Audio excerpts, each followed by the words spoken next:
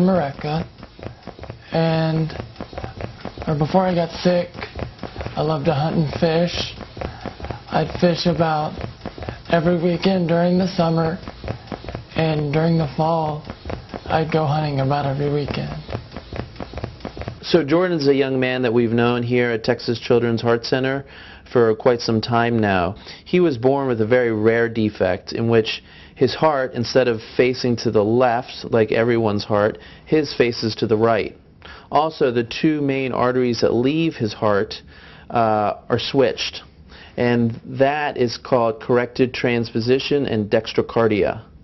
And we know that many of these patients over time will eventually develop heart failure.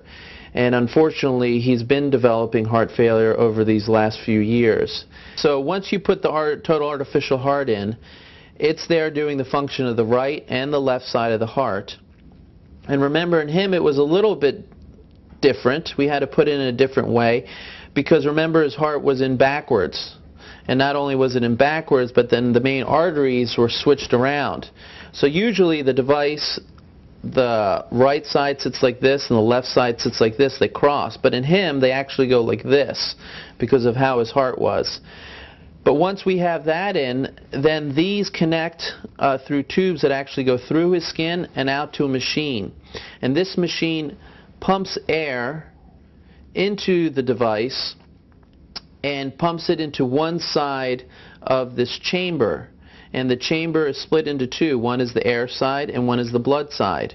So as the air is pushed in, the diaphragm pushes the blood out and you have a heartbeat. Right now, uh, the device is driven by a very big machine that's literally 400 pounds. Uh, but probably in the next week to week and a half, after he gets to the floor for a few days, we're going to be switching him to another device, a much smaller device called the Freedom Driver. And the reason they call it the Freedom Driver is that the patient can wear it on a backpack and can walk around much easier and can leave the hospital. But as long as his strength continues to improve, we'll switch him to the Freedom Driver and then hopefully get him home while he waits for his heart transplant.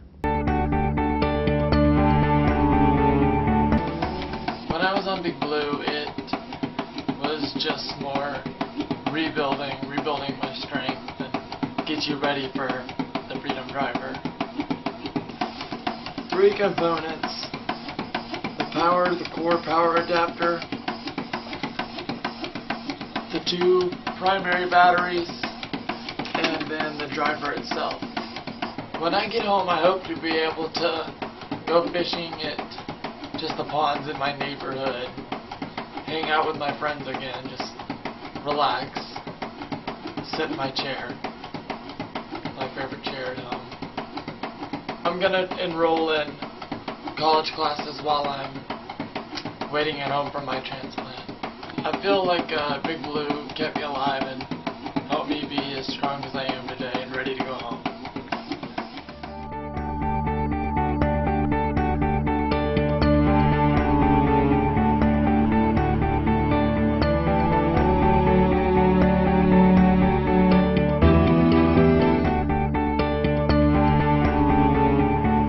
starting the new year with a new heart. We've been following the story of Houston area teenager Jordan Merecka since last summer. He's one of the first teens in the country to survive with an artificial heart. But in our health check tonight, medical reporter Christi Myers shows us how he's beginning his new life now with a new human heart. 18-year-old Jordan Merecka hops in his pickup, chatting about what he wants to major in. Subsea engineering, marine, something to do with the ocean. But this was Jordan six months ago, connected to an artificial heart run by a 400-pound pump. You hear it, and you know you're still pumping. Jordan was Texas Children's first artificial heart patient. He went home with a backpack battery and had to sit near electrical outlets to keep it charged. But those days are behind him. In October, he got a heart transplant, beginning the new year with a new human heart. Now that I have my real heart, it's just getting back to a normal life, step by step. He's looking at college courses and must take pills to fight rejection. But to Jordan, this is small stuff. I always go back to just thanking God that He gave me the opportunity to live without a heart. I guess do the impossible. We're thankful that we can look back and not really remember as much all the trauma and the the uh, pain and suffering that not only Jordan went through, but we went through as a family. But God's faithfulness in bringing him home to us with a new heart. Few in the world have gone through what he has and lived to tell the story. A heart doesn't make you who you are. You choose who you are and who you're going to be, and you you decide what's going to stop you and what what's not going to stop you. Christi Myers, 13, Health Check.